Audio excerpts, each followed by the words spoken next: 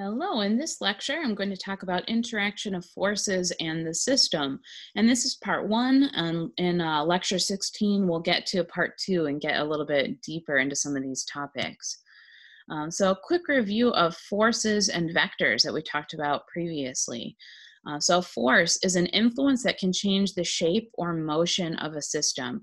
It doesn't have to always change the shape or motion of a system, but it is capable of changing it. Um, there are usually, and I should say always, you know, when we're on Earth, uh, there are always several forces acting on the body at once. Uh, and that's where we get into drawing our free body diagrams, uh, because that's how we visually display different forces acting on lever systems and, and on the body. Um, so forces are graphically represented by vectors, and a quick reminder about vectors.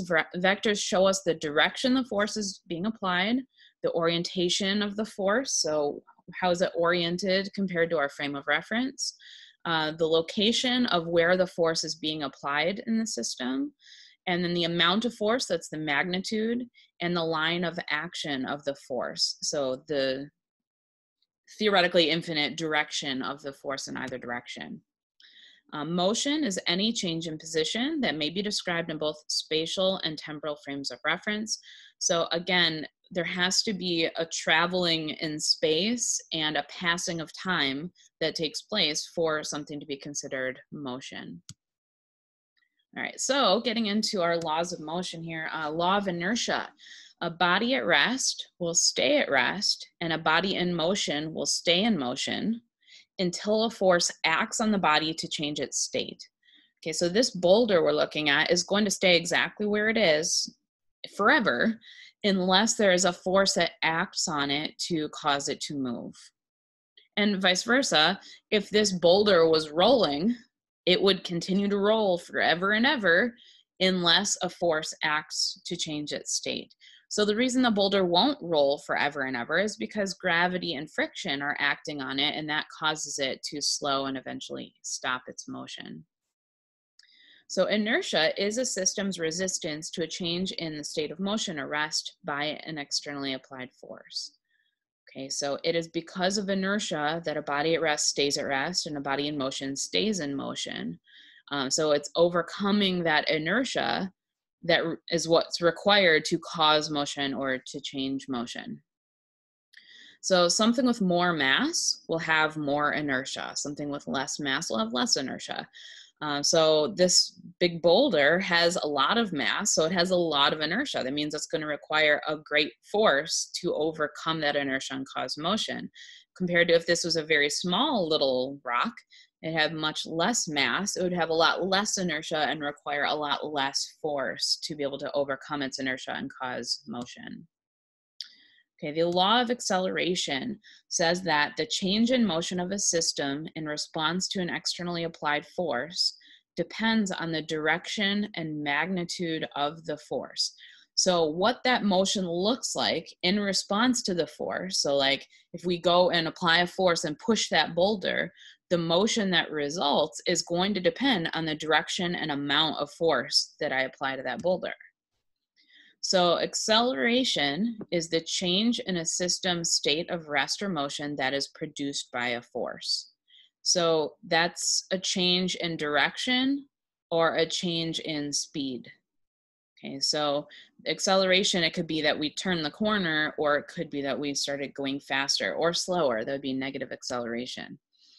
Uh, the change in motion will be proportionate to the amount and direction of the force.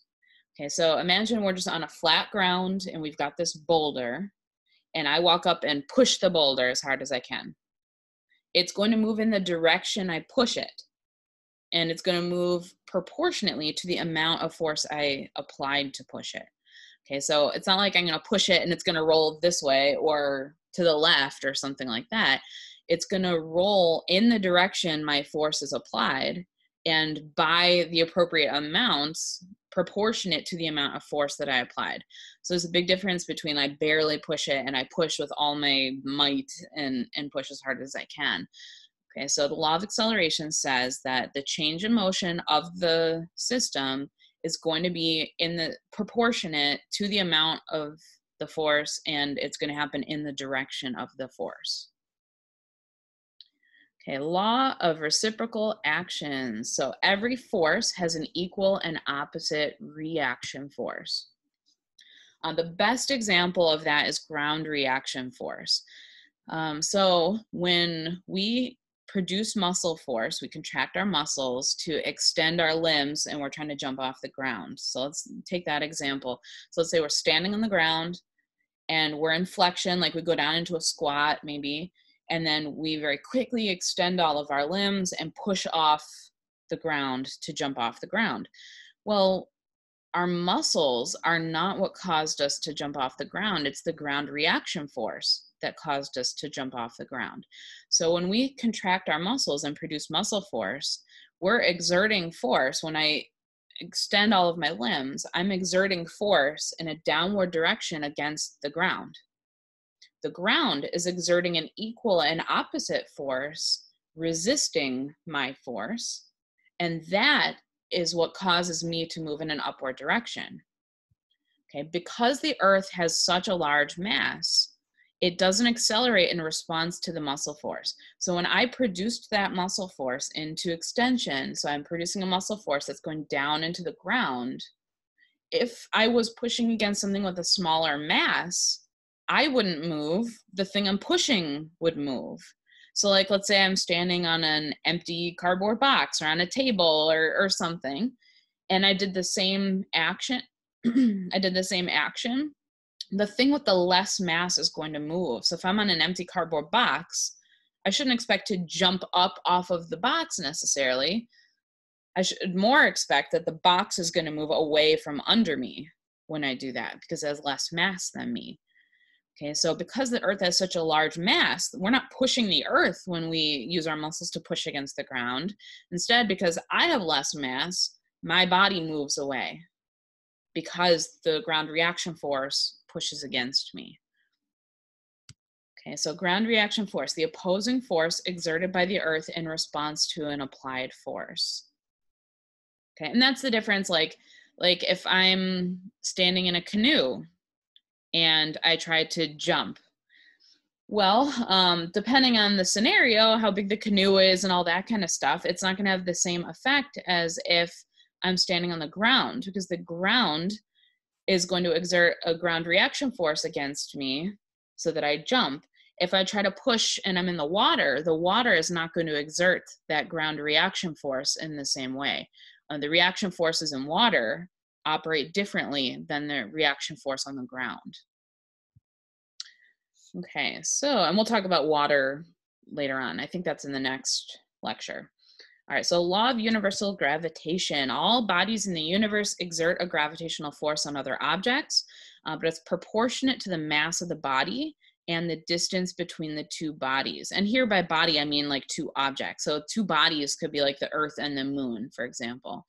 Um, so everything all exerts gravitational force on other things, but it's proportionate to how big that thing is. So really, the gravitational pull of the Earth is it. it dwarfs everything else. That's the big one. Uh, dwarfs everything else. To a lesser extent, there's a gravitational pull of the moon, which does, you know, affect our tides, and um, to some extent, it's theorized that it affects the fluids and and uh, chemicals in our bodies. Um, I don't know if that's necessarily been scientifically demonstrated, but I think that's theoretical. Um, so we are mostly affected by gravitational force of the Earth and maybe to some extent from the moon. Um, but everything, I exert a gravitational pull, the couch exerts a gravitational pull. It's just that these things have such smaller mass than the Earth um, that those gravitational pulls are dwarfed. The line of gravity, like we talked about in a past lecture, is the vertical line representing the location of the gravitational pull of an object. So it's just a vertical line perpendicular to the ground representing um, the gravitational pull through the center of gravity of an object. So the center of mass, where the mass is concentrated, is where the gravity would be concentrated. Weight is the measure of gravitational pull on the object, which is directly proportionate to the object's mass. So the mass is the amount of stuff that makes something up, And then weight is when we consider it's basically a measure of how much gravity is affecting that much mass. Um, so weight would be different on each planet because gravity would be different on each planet, even though the mass of the object remains the same. Uh, so we'll get into calculating that and everything in future lectures. Okay, field forces. A non-contact force that acts between objects at a distance is a field force. We have four types. Uh, two of them are very relevant in biomechanics and two not at all, so we won't really talk about them at all. Uh, so strong nuclear force, not at all important to us. Uh, it's the strongest field force that occurs between subatomic particles to hold the nucleus of an atom together. I mean, obviously it's important, but in the field of biomechanics, we don't really do anything with this. Electromagnetic force is the second strongest force, uh, which is a force that occurs between electric charges, like when two magnets are held close together and they attract or repel one another. This is very relevant to biomechanics. Although we don't study it directly, we sort of study its effects. So I'll talk about that in just a minute. Uh, weak nuclear force, not at all important in biomechanics, related to radioactive decay and nuclear reactions. And then gravitational force is the last one that I just discussed. Um, and of course, highly relevant in biomechanics. Okay, so in biomechanics, it's all about electromagnetic and gravitational force, not at all. We don't care about strong and weak nuclear forces. All right, so contact forces result from direct contact between two bodies. And again, I just mean two objects, um, whether that's the body and the ground or two inanimate objects, whatever that might be. Um, technically, these occur as a result of electric field forces, like we just talked about, um, when we look at an atomic level. But because that's not practical for us to study in biomechanics, we really are studying the effects. And those effects we refer to as contact forces. Okay, so we're really looking at the relative movement between two objects and how they're interacting, and we call that contact force. But really, it's the the more accessible way to study electric field forces, which are what is happening at an atomic level. Okay, external and internal forces is just a way to describe any kind of force in its relationship to the system. So an external, also called an extrinsic force, would be a force that's exerted outside the system, and it'd be capable of changing only the motion of the system. And an internal or an intrinsic force would be a force that's happening within the system or produced inside of the system, and it's capable of changing only the shape. So if we think about my example of you're squatting down and then you extend your limbs and to jump off of the ground, the muscle forces in that case would be the internal forces that are capable of changing the shape of the body. So I can change from a flexed position to an extended position but it's the ground reaction force that's the external force that actually changes the motion. So my body changes the shape, my muscle forces change the shape of my body, and then the ground reaction force causes motion for me to actually jump off of the ground, and that would be the external force. Which forces are external or internal vary depending on the system. Now, there are a couple that are always True. So gravity is always external. My body is not exerting gravity on my own body. Okay, so gravitational force is always an external force.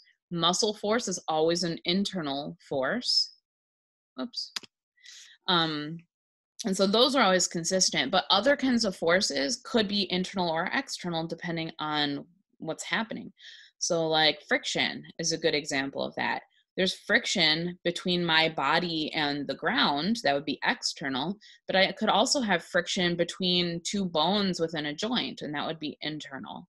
Okay so all kinds of forces could be happening internally or externally applied to the body um, except gravity and muscle force are, are always consistent Okay, muscle forces. So muscle forces are capable of changing the shape of the system, like I mentioned uh, just a minute ago. Uh, without gravity and contact with other objects, muscle force does not change motion. Okay, so when I extend my limbs, it's only because I am standing on the ground because of gravity and I'm contacting the ground and getting that ground reaction force. That's the only reason there's actual motion where I leave the ground. Um, otherwise, my muscles are simply changing the shape of my body.